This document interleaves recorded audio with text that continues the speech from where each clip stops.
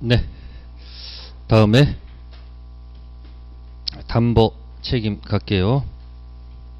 자, 193페이지. 자, 타이틀 제목이 권리 하자로 인한 무슨 책임? 담보 책임. 자, 다음 페이지 넘기시면 194페이지 권리 하자 담보 책임 두 번째가 있고요. 그 다음에 세 번째가 무슨 하자죠? 음, 물건 하자입니다. 그러면 어, 담보 책임이 두 가지가 있는데 일단 무슨 책임이 있고 네, 권리 흠이 있는 경우 또 하나는 물건에 흠이 있는 경우 그러면 여러분들이 물건에 하자가 있는 것을 안 매수인은 어떤 태도를 보입니까?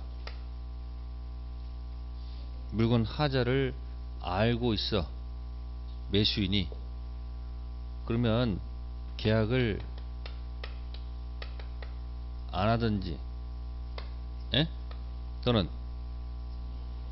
계약을 할 때 대금을 조절하고 계약을 했을 거라고. 물건에 자체에 뭐가 있으면 하자 흠이 있음을 알게 되면요 이걸 안다는 것을 갖다가 이걸 악의의 매신하고 표현한 것 뿐이야. 근데 이 악이란 말이 너무 뭐야?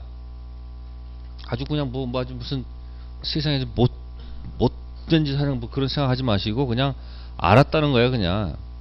그럼 당연히 뭐야? 계약을 안 하든지 아니면 뭐야? 계약 하려면 대금은 뭐야? 조절하고 매매 계약을 체결하지 않았겠는가? 그러면 무슨 계약을 체결한 다음에 대금 다 조절하고 계약을 이 매매 계약 한 다음에 후에 아우 다시 또 뭐 가지고? 아니 그 물건의 뭐를 가지고? 하자를 가지고 이러쿵 저러쿵 논의한다는 자체가 뭐요? 말이 되냐고. 말이 안 되지. 그러니까 무슨 하자는 물건 하자는 악의 매수인은 절대 담보 책임 물을 수 있다는 것은 논리가 안 맞아요. 그죠? 그러니까 물건 하자는 악의는 절대 안 된다는 얘기야. 아마 뭐야? 모르고 샀는데 나중에 물건에 뭐가 있다 하자가 있다 그러면 공격하겠지. 근데 권리하자는 알고 사는 경우도 있다 없다? 있습니다. 하나 딱 들게 권리 전부 있죠. 예? 권리 전부가 누구 건데? 타인 거야. 예를 들어서 여기 갑의 토지가 있는데 이게 경매로 넘어왔어. 좀 복잡하게 할게요. 경매 넘어와서 경락인이 경락인이 을이야. 그럼 을은 언제 소유권 취득해? 음. 근데 경매했을 때 돈을 한꺼번에 딱 내는 게 아니고 처음에 경락대금 뭐야? 일부를 지급하고 나중에 빚점 때 가서 경락대금 네? 다 지급한 때가 있단 말이야. 그 다음에 시점 때 가서 뭐 할 거란 얘기예요? 그럼 경락인은 대금을 일부 줬을 때 취득, 완납했을 때 취득, 등기했을 때 취득. 응? 요거지. 이게 법률 행위야, 법률 규정이야. 응? 법률 행위는 등기를 요하고 법률 규정은 등기를 요하지 않죠. 예? 상속, 공영징수, 판결, 경매, 기타, 법률 규정, 취득은 경매, 경매. 여기죠? 그러면 다 지급하기 전까지는 무슨 자가 아니야. 아니 소유자가 아니라고요. 근데 을이 여기서 아직 돈 다 안 넣었잖아. 여기서 병한테 팔았단 말이야. 매매했단 말이야. 그럼 을은 뭐야? 지 거야, 지 거 아니야? 그럼 우리는 누구 거 파는 거예요? 다 지급 전까지는 늘 게 아니니까 권리 전부가 누구 거야? 타인 것을 팔았다는 얘기야. 병이 알고 있어, 모르고 있어. 아니, 부동산은 모른다는 얘기가 말이 안 되지. 부동산 살 때는 뭘 떼어보니 등기부를 떼어보잖아요. 그러니까 분명히 뭐야 알고 있을 거란 말이야 악이. 그럼 우리는 어떻게 하면 돼? 나중에 코스가 코스가 그래서 거기 569조에 뭐라고 돼 있어?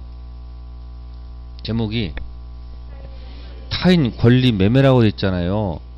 타인 권리를 팔 수 있다는 얘기죠. 타인 권리라는 것은요 처분권이 아직 없지 직계 아니잖아 매매는 채권행위 물권행위 그래서 569조를 다른 말로 아주 멋있게 표현하면 처분권 없는 자 채권행위야 타인 권리 매매가 뭐라고요? 아 직거 아니잖아 지금 처분권 없지 그럼 처분권 없는 자가 무슨 행위를 했어? 채권 행위를 했단 말이야. 약속했단 말이야. 그럼 나중에 뭐 하면 돼? 취득해서 넘겨주면 되잖아. 그래서 처분권 없는 자의 무슨 행위? 채권 행위는 뭐하다? 유효, 무효. 유효라고 한단 말이야. 타인 권리 매매가 유효, 무효? 거기 안에 있잖아. 매매 목적인 권리가 타인에게 속한 경우 매도는 그 권리를 취득해서 매수인에게 마음은 돼. 이전해 주면 되잖아. 근데 처분권 없는 자가 소유권 넘겨주는 건 용서가 안 돼. 아니 처분권 없는 자가 뭐는 용서가 돼도 아니 매매는 관계 없어. 약속한테 내가 죽이면 되는 거니까. 근데 처분권 없는 사람이 뭘 넘겨주는 거? 소유권 이전해 주는 것은 논리가 안 맞지. 그래서 소, 처분권 없는 자가 뭐 하는 거? 매매, 채권 행위는 유효하지만 처분권 없는 자가 뭐 하는 거? 소유권 이전하는 거. 소유권은 채권, 물권. 그러니까 처분권 없는 자가 뭐 하는 것? 물권 이전하는 행위는 유효, 무효? 효력이 없겠죠? 자, 총칙으로 한번 가볼게요. 거기다 적지 마. 거기다 적지 마. 지저분해. 깨끗한 데가 가서 적어야 돼요. 자, 페이지 가볼게요. 14페이지 가보세요. 자, 14페이지 가시면 자, 거기 의사표시 개수 가지고 나오는 게 뭐죠? 단독행위, 쌍방행위, 합동행위죠. 자, 질문할게요. 아까 일방의학은 단독행위였어요? 계약이었어요? 합동이었어요? 음, 일방의학은 예약 완결권을 한쪽이 갖는다는 뜻이고 쌍방 예약은 양쪽 갖는 얘기죠. 자 그런데 지금 의사표시 개수 가지고 제가 맨날 이렇게 있죠 이게 맨날 이렇게 있잖아. 그, 그, 그 얘기한 거야 이거 맨날 이게 이게 단독행위고 이거 뭐다 나라의 뭐다 합동이. 그 이제 의사표시 개수 방향을 산 것이고 그 밑에 이제 채권행위하고 무슨 행위가 있어? 거기 보세요 채권행위 있죠? 채권 채무를 발생시키는 법률행위 이게 문제가 남아있죠? 매매 임대차 교환 있잖아. 그 전부 다 어딨어? 채권법에 있는 계약 종류들 아니야. 그럼 그런 계약을 맺으면 뭐가 발생해? 채권이 발생한다고? 그럼 갑의 채권은 상대방이 채무를 이행할 의무가 남아있단 말이야. 자, 그래서 매매 있죠? 물권 행위 처음에 나오는 거 소유권 이전 있지. 그죠? 그러니까 맨 밑에 가보세요. 맨 밑에. 맨 밑에 맨 밑에 박스 밑에 뭐라고 했습니까? 처분권 없는 자의 무슨 행위?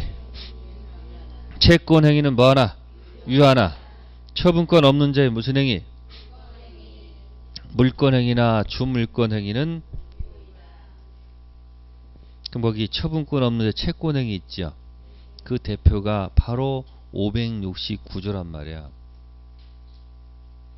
타인 권리 매매라고 돼 있잖아요. 그게 처분권 없는 자가 뭐한 거? 채권 행위는 뭐하다? 유의하지만 처분권 없는 사람이 소유권을 넘겨주는 것은 있을 수가 없는 얘기거든요. 됐죠? 자, 다시 원위치 할게요. 193페이지. 자, 그러니 570조에 뭐라고 됐어요? 동전.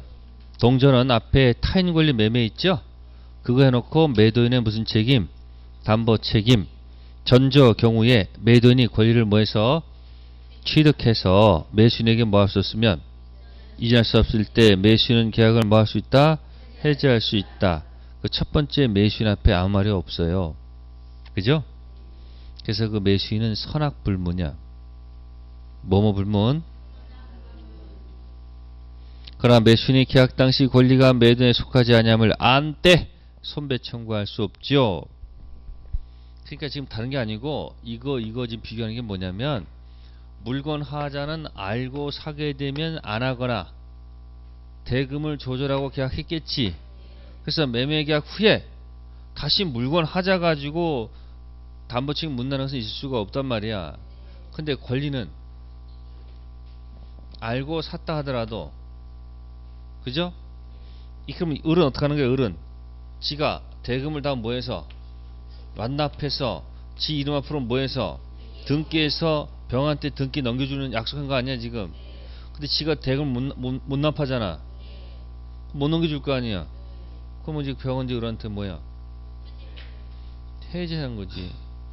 돈 돌려달라는 얘기겠지. 근데 무슨 배상은 못할 것이다. 그러니까 권리하자는 악의인 경우에도 담보 책임을 물을 수가 있는데 무슨 하자는 절대 뭐는 안 된다. 악의는 있을 수가 없지 않는가. 그러면 출제자가 어느 걸 더 출제하고 시- 싶겠어요. 당연하지 왜?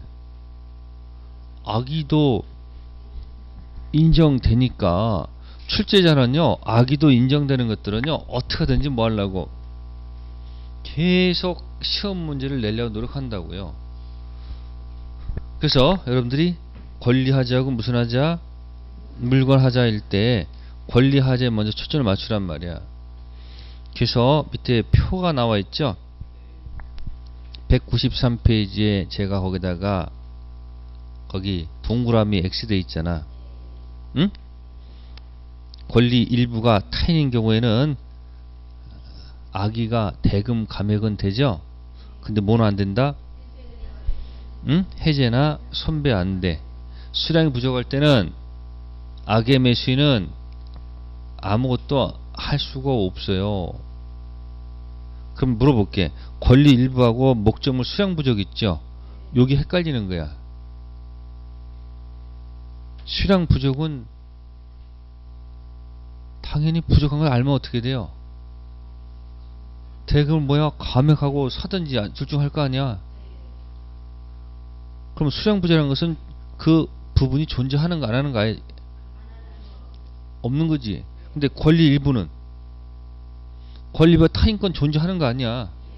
그죠? 그러니까 나중에 문제 풀 때 이게 권리 일부인지 수량 불응제를 자- 깜빡하면 이 수- 바뀔 수가 있어. 그래서 시험 볼 때 권리 일부인지 아니면 뭐야 수량 부족인지를 잘 뭐하고 생각하고 답을 하신다는 얘기야. 그럼 표 하나 놓고서 연습하면 되잖아요. 그러면 가려놓고 얼마든지 할 수 있어야 돼 없어야 돼 있어야 된다는 얘기예요. 아셨습니까? 그래서 x가 1, 2, 3로 내려온다는 거. 1, 2, 3. 그래서 문제 풀 때 갖다 대입만 할 수 있다면 답은 금방 수학 시처럼 답이 딱딱 떨어질 것이다 그런 얘기야. 전부 일부 뭐예요? 수량 부족. 그 표를 잘 좀 기억해 두시고요. 다음 넘기셔 가지고 자, 3번 타이틀 제목이 무슨 하자? 물건 하자. 자, 580조 1항을 보시면 매매 목적물이란 말 있죠? 목적물은 물건을 뜻하는 거예요. 물건. 하자가 있는 때 575조 제1항 규정을 준용한다. 그러나 매수인이 하자 있는 것을 뭐 했거나 알았거나 과실로 인하여 알지 못한 때 그러하지 아니하다. 그 말은 악의 또는 유가실일 때는 준용하지 않겠다. 악의 또는 유가실이면 뭐하지 않겠다. 준용하지 않겠다는 얘기죠. 그럼 결국은 물건 하자는 어떻게 들어가야 돼요? 선의만 가지고 안 되고요. 선의 또한 무가실까지 끌고 가야 돼. 그죠? 그거 뒤집은 말이 뭐다? 선이 또한 무가실. 그래서 580조 왼쪽에다가는요. 중고차라고 하나 적으시고요. 중고차. 중고차 살 때는 차량 번호가 이미 찍혀 있겠죠. 근데 581조의 종류 매매란 말이 있어요. 요거는 대리점 가가지고 새 차 사는 경우. 대리점 가가지고 새 차 삽니다. 그럼 가가지고 뭡니까 그 내용 보고서 차 종류를 정하죠. 에? 그리고 이제 뭐야 색깔, 그죠? 그다음 여러 가지 옵션이 있죠.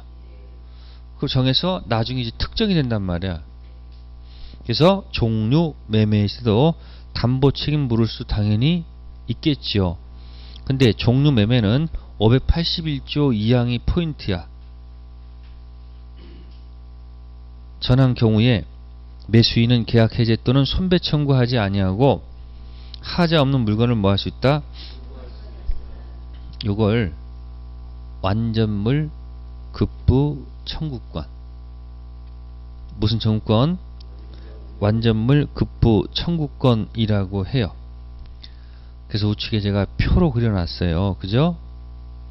물건, 하자 담보 책임 하나는 무슨 하자고 특정물 불특정물 중고차 대리점 세차죠 선의 및 매, 무과실이죠 특징은 불특정물 매매는 거기 완전물 급부 청구권이란 말이 있죠 그러면 거기 두 개 함께 던지면 안 되지 또는 이겠지 당연히 해제 또는 손배 그걸 하든가 아니면 다른 걸로 뭐요? 바꿔달라 하면 되겠죠. 근데 차 판 회사가 새 차로 바꿔줍니까? 하여튼 가서 고쳐 하는 뭐 하여튼 해가지고 뭐야? 제일 열받는 게 뭐냐면 새차 사가지고 자꾸 자꾸 무슨 경고등 들어올 때. 그럼 막 열이 팍팍 도... 근데 희한해 또 거기 가면 또 불이 안 들어와. 아 오늘 분명 막 불이 열받아서 막 가면 또 거기 가면 또 뭐 불이 안 들어와. 그러면 내가 무슨 거짓말 한 것 같은 그때 빨리 사진 찍어놔 사진 찍어놔서 뭐야?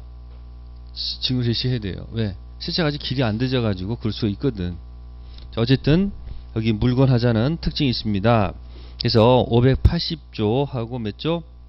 581조 자 그래서 별로 어려운 건 없어요 자그 다음에 이제 넘기셔 가지고 이제 이제 경매 가지고 할게요 뭐 가지고 자 제가 580조하고 몇 조? 78조를 넣었어요. 그러면 한번 생각해 보세요. 간단해. 경매를 했는데 자 소유권을 취득을 했어. 뭐 했다? 자 물건에 하자가 있어. 자 담보 책임 추궁할 수 있을까 없을까 하는 얘기죠.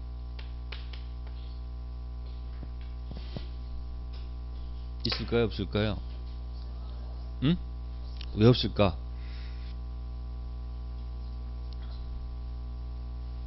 이걸 잘 보란 말이야 이거 수익금은 뭐 했으면 알아서 고쳐 써야지 그죠? 수익금 뭐 했으면 그러면 경매할 때 가서 뭐 해야 돼요? 가서 임장 활동 해야 될 거 아니야. 가서 현장에 뭐예요? 가서 확인해 보고 물건에 뭐가 있으면 하자가 있으면 경락 안 받든지 아니면 뭐야 확 깎고 들어가든지 하자하면 되는 거지. 수익권은 뭐 해놓고 취득해놓고 새삼스럽게 물건 하자 어쩌고 저쩌고 담보 책임 충할 수는 없다. 이걸 인정하게 되면요 골치 아파요. 왜? 해놓고 서도 가서 그 어떻게 할까 이거 근데 이제 경매를 했는데 어 경매는데 소유권을 취득을 못하는 경우도 있단 말이야 이런 경우 있을까요? 아니 경매를 했는데 경락 때문에 다 완납했는데 소유권 취득을 못하는 경우도 있어 왜? 왜? 무효 등기 공신력이 없어서 뭐가 없어서? 자 무효 등기 기억나는 갑 등기 예? 제가 맨날 뭐야 을 위조 병 등기 어? 그러면 이건 뭐야 무슨 등기야? 무효 등기 을이 저- 등기하고 또 모두 해 점유 휘리리릭 해가지고 10년 그러면 여기 뭐 뭐 뭐 했다? 아니 여기 등기 등기부터 했으니까 무슨 시효 등기 취득 시효 했다 해서 소유권 취득할 수 있지. 뭐가 날라와도 무효 등기 공신력이 없다. 공격해도 뭐야 무효 등기 공신력 없지만 뭐야 등기 취득 시효 했다. 공격할 수 있잖아. 근데 만약에 몇 년이 안 되면 어떻게 해야 돼? 돌려 줘야 돼. 이때 점유자가 그동안 들어간 비용들이 있죠. 달라고 하면 비용 상환 청구권 들어가 못 들어가? 들어가죠. 필요비, 유입비. 그죠? 그래서 안 주면 유치권 행사에서 개기는 수밖에 없다.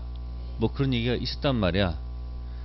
자, 그런데 이제 무효 등기로 들어가 있는데 병은 자신이 무슨 자라고 믿고 있어. 실 믿고 있단 말이야. 그러니까 또 병이 이 토지에다가 담보대출 일으켜가지고, 에? 여기다 도 정이 또 등기가 들어와. 저당권 등기가 들어온단 말이야. 예? 그럼 이제 어떤 일이 발생해? 예? 다 불쌍한 사람들이죠? 그죠? 이렇게 A, B, 응? 예? 이거 갑, 을. 이 저당권 등기도 무효 등기란 말이야. 무슨 등기야? 무효 등기야. 그럼 저당권자가 나중에 얘가 뭘 하지 않으니까 돈을 갚지 않으니까 저당권을 뭐 할 거야? 실행할 거란 말이야. 이게 실행. 예? 뭘 통해서? 이 절차는 정상이야. 예? 정상인데 무효 등기 뭐가 없어가지고 그래서 경매 가지고 누가 나타나서 병이 경락대금을 다 뭐야 왔나? 파고. 이제 뭐 하면 돼? 등기하면 되잖아. 그럼 등기까지 했다고 가정합시다. 뭐까지? 아니 근데 짜증나게 이제 누가 나타나가지고. 이게 나타나가지고 또 갑자기 뭐 뭘 또 때려. 우리나라 무슨 등기에는? 자 등기는 점유의 공신력이야. 등기의 공신 아니야 미안합니다. 자 점유는 예? 동사는 점유의 추정력이야 등기 추정력이야. 부동산은 점유의 추정력이야 등기 추정력이야. 자 무효 등기는 뭐가 없어요? 공신력 없다란 말 나올 거 아니야. 그럼 이 사람 어떻게 하는 거야 줘야 돼. 돈을 다 뭐 했는데 그럼 병 소유권 취득했냐고 아니 이 사람이 가져가면 못하잖아. 그러면 이게 다 원위치 될거 아니야 병. 그럼 돌려받아야 하는데 받을 거 아니야. 그럼 병은 어떻게 이제 절차를 밟느냐? 이 돈을 받아야 될 거 아니야? 일단 누구한테? 채무자란 말이야. 이게 누구고? 이 채권자란 말이야. 그죠? 다 딱한 사람들이지 뭐 그럼 채권자가 누구 부동산? 채무다 부동산을 경매 붙인 거 아니야. 그러니까 소유자가 누구야 원래가? 아니 여기 여기서 채무자란 말이야. 일단 나온 거는. 그래서 일단 절차적으로 일단 누구한테 채무자한테 일단 공격을 한번 해보고 예? 채무자가 뭐가 없으면 돈이 없어. 그럼 돈 배당 받아간 누가 있어? 이 사람 있잖아. 이 사람한테 2차적 공격하면 될 것이다 키워드는 소유권을 뭐하지 못했으면 이건 무슨 하자 이거는. 권리 하자 아니야. 아 소유권 취득하지 못했으니까 당연히 뭐야 당연히. 돌려받아야 될 거 아니야? 그럼 뭐야 당연히. 담보 책임을 뭐 할 수밖에 없는 거다. 충할 수밖에 없는 거지. 그래서 그림 그려놨어 거기다가. 에? 밑에 표 있어요? 경매 있어요. 물건 하자 있어요. 담보 책임 인정되지 않죠? 안 되는 이유가 뭐냐면 그 물건 하자 위에다가 소유권 취득 동그라미 그것만 기억하면 돼. 경매에서 뭐는 취득했는데 소유권 취득했어. 그럼 뭐야? 물건 하자는 지가 알아서 고쳐서 해야지. 담보 책임 물으면 되겠다 안 되겠다 안 되겠다. 근데 경매했는데 권리 하자가 있어. 그럼 뭐야? 그럼 소유권 취득 엑스라 적으면 되잖아. 소유권을 취득하지 못하면 당연히 뭐야 담보 책임 인정해야 될 거 아닙니까? 그럼 우측에 누가 누구 부동산 경매 집어넣은 거야? 자, 채권자 우측에 있죠? 자, 채무자 옆에다가 채무자 옆에다가 채무자 부동산 화살표 경매 누가 누구 부동산 경매 붙였어요? 채권자가 채무자 부동산을 경매 붙였죠? 경납 받았죠? 근데 경락인이 소유권을 취득해 못해? 못하지요? 그러면 매도인에 해당하는 사람이 누구야? 아니 매 아니 매수인 누구야 매수인이 경락이나 매도인이 그 채무자란 말이야. 그럼 그 경매가 뭐가 되는 거야? 매매라고. 그러면 1차적으로 누구한테 물- 물어야 되고 채무자한테 물어야 되고요. 채무자가 뭐가 없으면 자력이 없어. 돈이 있을 리가 없겠다. 그때는 누구한테? 배당 받아간 누구한테? 채권자한테 공격할 것. 그럼 이제 조문을 볼게요. 580조 위에 조, 조문 있어요? 이 항에 어떻게 돼 있어요?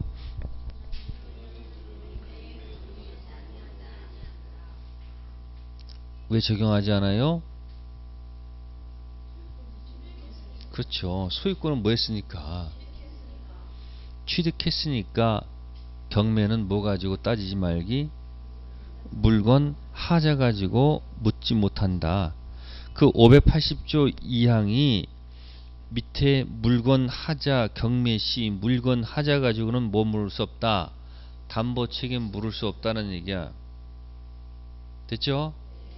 자, 그러면 이제 580조 2항의 경매 동그라미 하시고요. 580조 2항의 경매 있잖아요. 자, 우측에 이제 578조 1항 들어가 봅시다. 자, 경매의 경우에는 이렇게 돼 있죠? 경매 동그라미 하시고요. 자, 경매의 경우에는 경락인은 전 8조 규정에 의해서 채무자에게 계약 해지 또는 대금 감액을 청구할 수 있죠? 그럼 누구한테 공격한 거야? 채무자. 그게 1차적 공격 대상이 누구다? 채무자. 근데 두 번째 항에 전한 경우에 채무자가 자력이 없어 돈이 없어 그럼 경락인은 대금 배당 받은 누구? 채권자에 대해서 내 돈 돌려주라. 대금 전부 또는 뭐야?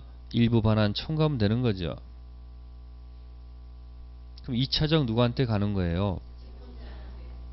그러면 580조 2항의 경매하고 578조 1항의 경매 있죠? 동그라미 동그라미 하셔가지고 연결해 놓으시면 되겠죠 그럼 왼쪽은 무슨 하자고 물건 하자고 오른쪽은 권리 하자죠? 그때 이제 기억하는 방법은 소유권을 취득했느냐 못했느냐를 생각한다면 답 쓸 수 있지 않겠는가? 그럼 경매는 뭐 가지고는 공격 못하고 뭐는 가- 관계없다? 권리하자. 경매 기억해 두셔야 돼요 자 해놓고요 그러면 이제 프린트물로 가서 프린트물 가면 매도인의 담보 책임 있죠 권리 전부 권리 일부 수량 부족 있죠 그럼 그 밑에다가 박스 밑에다가 X 1, 2, 3 해가지고 한번 조그맣게 한번 그려보는 연습하면 될까요? X가 뭐죠? 1, 2, 3 해놓고 X 따라서 선을 긋게 되면 예? 위에 딱 나와 있어. 뭐가 나와요 여기? 동그라미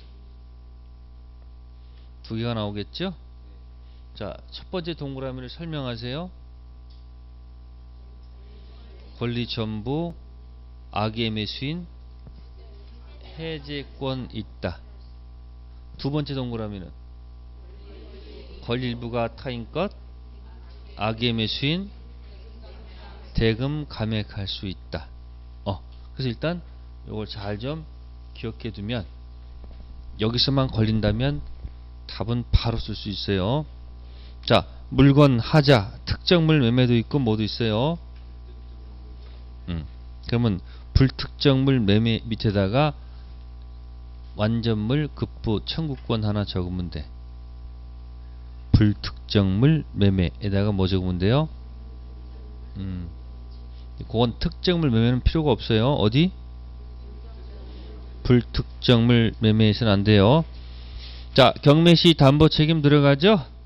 1차적은 음, 채무자한테 공격하고 2차적은 음, 이 힘들면 아, 누가 누구 부동산을 경매 붙였다. 채권자가 채무자 부동산을 경매 붙여서 경락인이 받은 거니까 경락인이 매수인이고 경매가 매매가 되고 그 채무자가 누가 되는 거야? 매도인에 해당하는 거야. 그러니까 1차적 누구한테? 채무자 공격하고 예치가 안 하면 누구? 채권자한테 공격한다. 그래서 담보 책임에서 한 문제. 그러니까 담보 책임은 좀 양이 많을 수가 있겠죠. 예? 그래서 담보 책임 분명히 나올 거예요. 이 담보 책임 위에다가 매도인 담보 책임 있죠? 그 위에다가 유상 계약 반대하살표 무상계약 담보 책임 문제를 내는 이유는 다른 게 아니고 아, 유상 계약 나는 대가적 출연 서로 대가 출연하는데 문제가 있는 경우 있잖아요. 그러니까 유상 계약에서는 무슨 책임 담보 책임 문제가 발생한단 말이야. 무상계약에서는 무슨 문제가 없다. 그 무상계약의 대표가 뭐죠? 무상계약의 가장 대표가 증여란 말이야. 어, 노트북을 그냥 공짜로 줬어. 근데 노트북에 하자가 있어. 그럼 지가 알아서 고쳐 써야 되는 거지. 준 사람한테 가서 뭐야 네 이상한 거 줬냐 해가지고 뭐야 담보 책임 물으면 안 되잖아요. 그러니까 유상 무상의 구별시력이 바로 뭐다? 담보 책임. 그래서 내는 거예요 항상.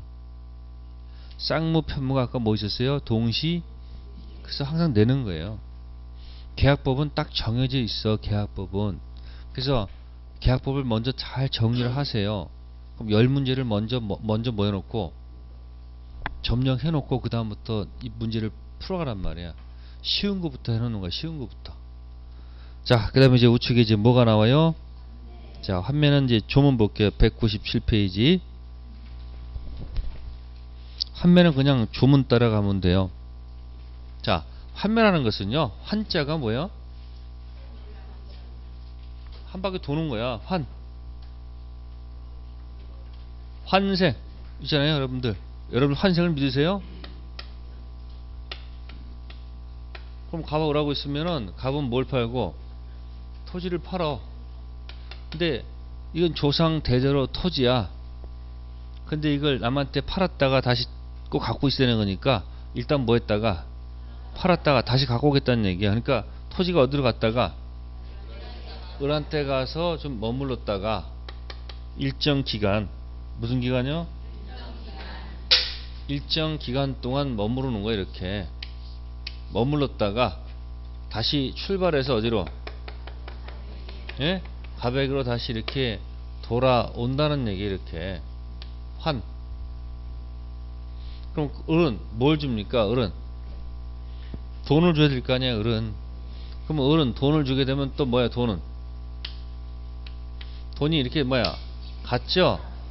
그럼 돈이 있다가 똑같아 일정 기간 뭐 했다가 똑같이 머물다가 다시 뭐야 이렇게 다시 돌아온다 그런 얘기야 한 바퀴 도는 거 서로 서로 그러면 이거 이제 갑이 을한테 부동산을 뭐 하면서 뭔가 특약을 달아야 될 거 아니야. 그죠? 그래서 여기 몇 조? 590조 1항에 파는 매도인이 매매계약과 동시에 환멸 권리를 뭐할 때 보류한 때 자, 영수한 대금 및 매신이 부담한 매매 비용 따옴표 돼 있죠? 반환하고 목적물 뭐 할 수 있다? 환매할 수 있다. 그러면 이 돈을 갖다가 뭐라고 표시한 거야? 돈을 뭐라 표시한 거예요? 여기에 뭐냐면 영수한 뭐야? 영수한 대금하고 매매 비용 뭐 이래서 무슨 뭐 감정 평가 비용이라든지 측량 비용 있죠? 그런 비용들을 뭐하고 반환하고 목적물을 뭐 할 수 있다? 환매할 수 있다. 자, 이 항에 전항에 무슨 대금? 자, 그게 키워드야. 여기서는. 환매 대금. 요 금액을 뭐라 한다? 요걸 환매 대금이라고 표현하는 거예요. 환매 대금. 환매 대금입니다. 키워드입니다. 특별한 약정이 있으면 그 약정에 의하고 약정 없으면 위에 걸 하면 되겠죠? 자, 사망 보세요. 전 이항 경우에 목적물과 실과 대금 이자는 특별한 약정이 없는 쓰면 이를 뭐한 것으로 상호 계산한 것으로 본다. 뭐한 것으로? 그러면 보세요. 이 목적물이 있는 동안 그죠? 여기 있죠? 여기서 있는 동안 뭐가 나와 여기서 과실이 있겠지. 천연과실 또는 뭐야? 법정과실. 을이 제 3자한테 세를 주면 거기서 차임을 받을 거란 말이야. 그리고 갑은 저 돈을 갖다가 은행에다 집어 넣든지, 예? 아니면 이렇게 돈 빌려주고 이자놀이 할 수 있어 없어? 그럼 여기 대금 뭐가 있어? 이 기간 동안에 그럼 이거하고 이거는 뭐 한 것으로 상호 계산 퉁퉁 치자 그런 얘기지. 그 말은 환매 대금에 환매 대금에 대금 이자가 안 들어간다는 사실. 뭐가? 왜 안 들어가? 이걸 갖다가 대금 이자까지 집어넣으면 이 사람은 과실을 돌려줘야지. 그럼 계산이 뭐하므로? 복잡해지니까. 그래서 밑에 중요 표시 뭐라고 돼 있어요?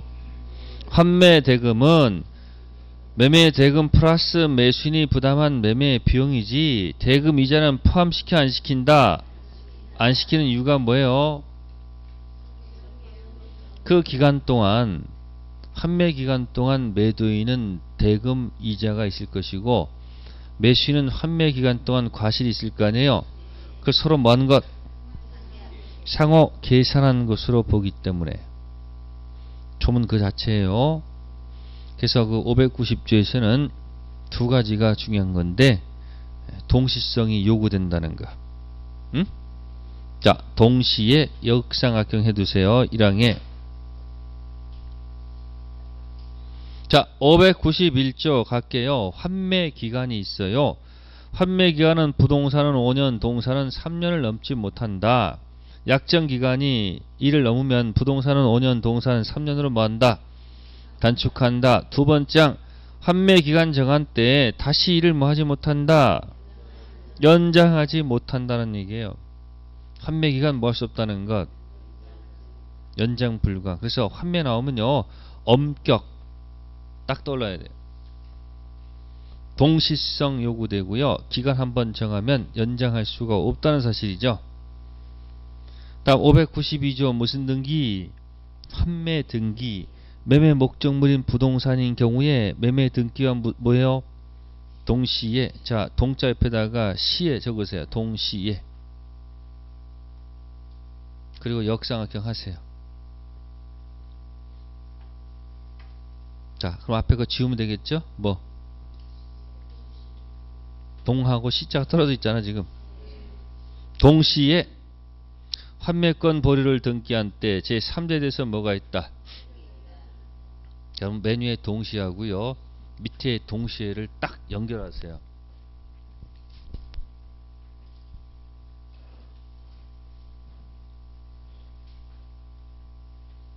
자, 위에 것은 뭐죠? 자, 자, 매매 계약과 동시에죠? 그러면 이제 혹시 이렇게 매매 등기와 동시에 환매권 예? 보류 뭐죠? 등기 했을 때 환매 특약이 이루어졌다. 맞을까요? 틀릴까요? 응? 맞아 틀리다. 틀려요. 전혀 다릅니다. 맨 위에 것은 등기란 말이 없죠. 판매 대상은 부동산일 수도 있고 동산일 수도 있죠. 그러니까 위에는 환매 계, 아 그러니까 매매 계약과 동시에 환매 거지를 보류한 때 그죠? 그때 환매 특약이 이루어진 거죠. 그 대상이 뭐일 때 부동산일 수도 있고 동산일 때 부동산일 때는 그 취지를 등기부에 기재를 하면 제3자한테 뭐 하셨다는 거예요? 대행할 수 있다는 얘기야. 동산은 등기할 수가 없잖아. 그러니까 등기는 왜 했다? 제3자한테 뭐 하기 위해서 대항하기 위해서 하는 것 뿐이지. 됐습니까? 그래서 동시에 동시에 뜻이 다르다는 것을 기억하시고요. 환매 대상은 부동산일 수도 있고 뭐일 수도 있다. 동산일 수도 있다는 것. 자, 맨 밑에 594조 1항 매도인은 그 기간 내, 그 기간이 뭐죠? 환매 기간 내. 자, 대금과 매매 비용 있죠? 그걸 싹 가로로 묶으세요. 대금과 매매 비용. 이걸 우측으로 빼시면 이게 뭘까요? 환매 대금입니다. 무슨 대금? 환매 대금을 매수인에게 제공하지 않으면 환매할 권리를 잃습니다. 즉 무만으로는 안 되고요. 의사 표시만으로는 부족하고 실제로 뭐 할 것? 환매 대금을 뭐 할 것? 제공해야 됩니다. 자, 이 환매가 이 자체로서 나오는 경우도 있지만 이 환매가 사실은 특별법에도 하나 쏙 들어가는 경우가 있어. 가등기 담보 등에 관한 법률이라는 것이 있어요. 무슨 법률이요? 그 가등기 담보 등 속에 이 환매가 가끔 들어가는 경우가 있어. 돈을 빌려주면서요. 환매로 하는 경우가 있어요. 돈 1억 빌려주면서 그죠? 그 돈 빌려주는 금액을 갖다가 매매 대금으로 해가지고 한 3억짜리 토지를 가져오는 경우도 있어요. 원래 무슨 대차인데? 에? 소, 돈 빌려 소비 대차야. 어, 소비 대차면 우리가 무슨 채권이야? 금전 채권 아니야? 그걸 마치 뭐 한 것처럼 해가지고 매매한 것처럼 해가지고 3억짜리 토지를 갖다가 뭐야 환매 대금 있잖아요. 그걸 1억으로 해가지고 환매 특약해놓고서 나, 나중에 환매 기간 내 뭐 하지 않으면 환매 대금을 제공하지 못하면 날라가잖아. 그래서 폭리를 취하는 경우도 있단 말이야. 그래서 가등기 담보 등에 관한 법률 할 때 이 등 속에 이 환매가 들어가는 경우도 있다는 것. 그래서 환매는 조문입니다. 별거 없어요. 조문 따라서 조심하면 돼요. 그래서 뭐 하다는 거 엄격하다는 거 기억하시면 돼.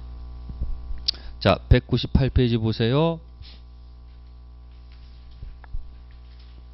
표 나와 있어요? 매도인, 갑, 매매, 계약, 매수인, 을 동시에 뭐 한다? 환매, 특약하지요? 이게 매매 등기, 환매권 보류 등기가 아니잖아. 그냥 매매 계약과 동시에 환매 특약이죠. 그럼 매도인이 환매할 권리자고 매수인이 뭐야? 환매 의무자란 말이야. 환매권 행사하면 되죠? 무슨 기간 내? 환매 대금 제공하면 되잖아요. 부동산은 5년, 3년 범위 내고요. 한 번 정한 기간 절대 뭐 할 수 없다. 연장할 수 없고 환매 대금에는 매수인의 매매 대금하고 플러스 뭐다? 자, 그 밑에다가 써놓을 말이 대금, 이자, 포함 X란 얘기야. 대금의 이자는 들어가 안 들어가? 안 들어가. 왜 안 들어가? 뭐하고 뭐? 예? 과실하고 대금 이자는 상호 계산한 것으로 보기 때문에 음.